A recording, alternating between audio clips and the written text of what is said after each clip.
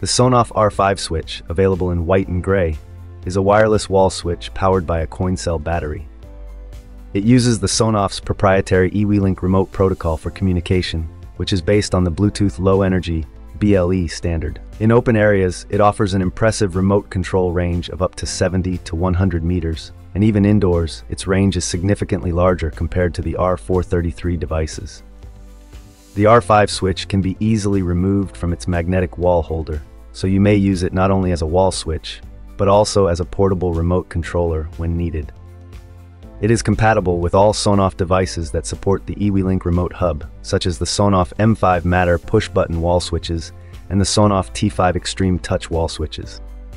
The Sonoff RGB smart bulb, the NS Panel Pro wall control panel, and all newer Sonoff relay modules, such as the Sonoff Mini R4, Sonoff Basic R4, and Sonoff Dual R3 smart relays also include compatible Bluetooth receivers. The six buttons of R5 switch can be used to control up to six different Sonoff devices within the wireless control range without an internet connection.